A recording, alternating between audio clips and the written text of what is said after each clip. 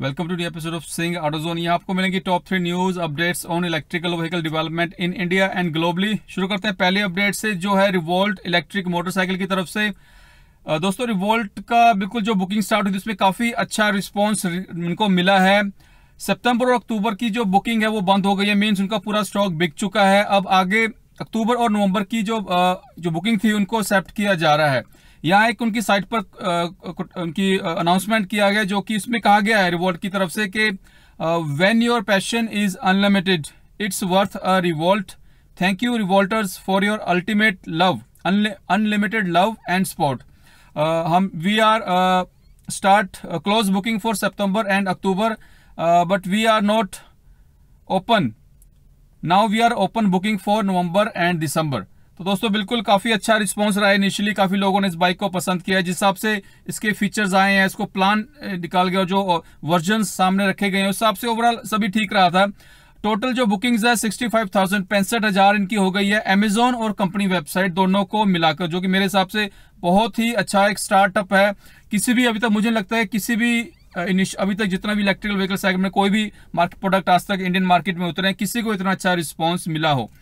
अभी तक बात करें जो मानेसर में इनका प्लांट है, वहाँ पे करंट कैपेसिटी एक लाख बीस हज़ार यूनिट्स की है एनुअली जिसको कि बिल्कुल मुझे पूरी उम्मीद है कि अब इस रिस्पांस को देखते हुए वो आगे उसको और बड़ा एक्सटेंड करने की प्लानिंग करेगी। हो सकता है अगर वहाँ पॉसिबल ना हो तो एक नया जगह, नया प्लांट कंपनी लगा सकती मुझे इस बार की पूरी उम्मीद है, जब भी ऐसा कुछ नया अपडेट आएगा, आपके साथ शेयर करूँगा सबसे पहले।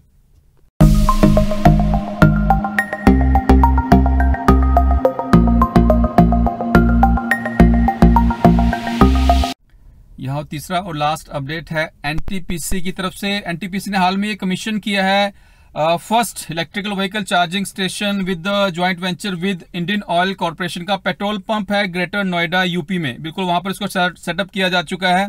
Uh, अगर बात करें तो आईओसी की तो आईओसी हिंडी के साथ मिलकर भी अपने पेट्रोल पंप्स पर जो चार्जिंग इंफ्रा है उसको डिवेलप कर रहा है।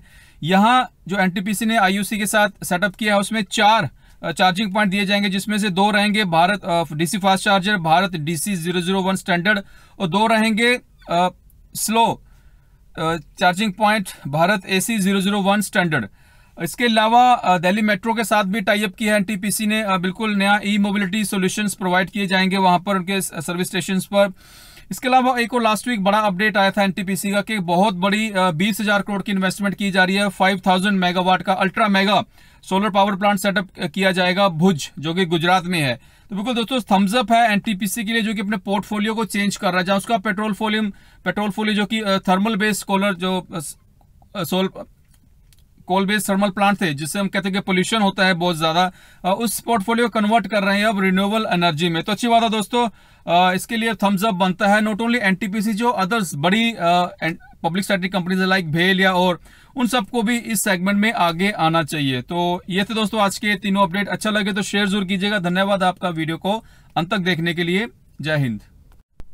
आज का सेकंड अपडेट है। मिनिस्ट्री ऑफ़ हैवी इंडस्ट्री ने 50 इलेक्ट्रिकल बसेस को अप्रूव किया है under FAME two Kadamba Transport Corporation Limited Goa बिल्कुल गोवा की ट्रांसपोर्ट अंडरटेकिंग है। टोटल 250 बसों के लिए उन्होंने रिक्वेस्ट डाली थी। गवर्नमेंट ऑफ़ इंडिया को जिसमें से 50 electrical buses under FAME two को अप्रूवल मिल गई है। केटीसीएल उनका कहना कि बिल्कुल अब वो बिल्कुल बहुत जल्द इस ई टेंडर फ्लोट करेगी 50 इलेक्ट्रिकल बसेस के लिए सितंबर एंड में और अक्टूबर तक सारा प्रोसीजर स्टार्ट करके नवंबर में इन बसों को ऐड किया जाएगा, इनको रन किया जाएगा। अभी स्टार्टिंग में जो इनकी जो रेंज है, अगर रेंज की बात करें इलेक्ट्रिकल बसेस की 250 किलोमीटर रहेगी और इनको जो, इनका जो जो कॉस्ट आएगी रनिंग की, जो पैसेंजर से चार्ज वसूल किया जाएगा, वो ग्यारह रुपए पर किलोमीटर के हिसाब से चार्ज किया जाएगा। दोस्तों, काफ़ी अच्छी बात है कि ज़्यादा से ज़्यादा स्टेट्स इलेक्ट्रिकल बसेस में आगे आ रही है और स्पेशली अंडर फेम टू जो इनको सपोर्ट मिल रही है, उससे और ज़्यादा बेनिफिट हो रहा है सभी को। अगर मिलकर स्टेट और सेंटर मिलकर ये सब कर रहे तो मुझे पूरी उम्मीद है कि आने वाले चार पाँच सालों में टोटल हंड्रेड परसेंट जो फ्लीट है, उसको स्टेप वाइज अगले चार पाँच सालों में इसको कन्वर्ट किया जा सकता है इलेक्ट्रिकल बसेज में। बहुत ज़्यादा स्कोप है इसे और बहुत ज़्यादा जो सीओ टू कमीशन है, उस पर फ़र्क पड़ेगा और लाखों लीटर जो डीजल है, उसकी भी जो कंजप्शन है, वो कम होगी और जो ओवरऑल डिपेंडेंस है इंडिया की क्रूड ऑयल पर वो भी कम होगी। तो बिल्कुल इस सेगमेंट में स्पेशली मैं चाहता हूँ कि ये सेगमेंट ऐसा है क्योंकि इसकी इनिशियल कॉस्ट बहुत ज़्यादा है, करोड़ रुपए से कम मुझे नहीं लगता कि बस आती होगी। एक से लेकर दो करोड़ के बीच में प्राइस रहता तो ऐसे में ये सेंटर्स या गवर्नमेंट की तरफ़ से ही ज़्यादा रहेगा। मुझे उम्मीद कम ही है कि प्राइवेट सेक्टर भी इसमें आगे आएगा। तो स्टेट्स और सेंटर मिलकर इस फेम स्कीम के थ्रू जब ये मिलकर इसमें आगे बढ़ेंगे तो मुझे पूरी उम्मीद है कि और ज़्यादा स्टेट्स और ज़्यादा बसेज अपने फ्लीट में ऐड की जाएँगी। ये था आज का सेकेंड अपडेट